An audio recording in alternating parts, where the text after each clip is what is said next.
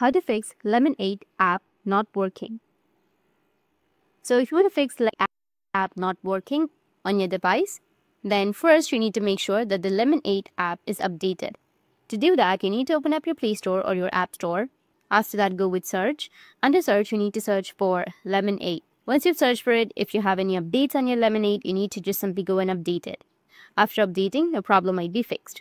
If that still doesn't fix your problem, then the next thing you need to do is open up your settings. Under settings, you need to scroll down, go with apps. Under apps, go with manage apps. From manage apps, you need to go and search for Lemon 8 application. Once you find the application, you need to tap on it. After tapping, go with clear data, which is on the bottom right, and then go with clear cache. Tap on OK. Once you've cleared your cache, your problem might be fixed. If that doesn't fix your problem, then the next thing you need to do is just simply go and uninstall the application. You'll have the uninstall option here on the bottom middle. You need to tap on uninstall. And after uninstalling, you need to go with the Play Store or your App Store again and then install it. And then you can go and log in and your problem will be fixed. That's it. And if you have any questions, feel free to comment below. Thanks for watching.